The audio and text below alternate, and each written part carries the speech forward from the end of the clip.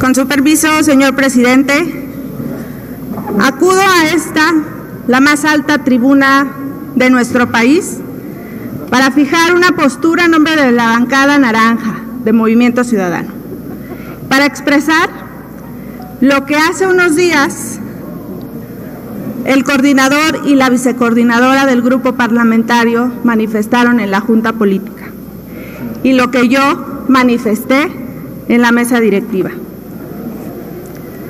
No debemos incluir en la orden del día el tema del fiscal de Morelos, Uriel Carmona.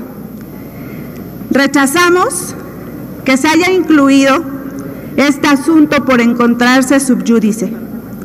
Existe una suspensión y pedimos que no se llevara al Pleno para no desatender lo que una juez federal había ya determinado. Vamos a caer en un desacato y hoy me quiero dirigir a cada una y a cada uno de ustedes.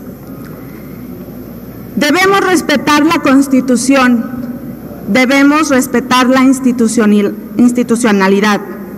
Por eso entregaré la postura de este grupo parlamentario para que se integre de manera íntegra al diario de los debates. No podemos entrar ni a la discusión y mucho menos a la aprobación de un tema que violenta la Constitución.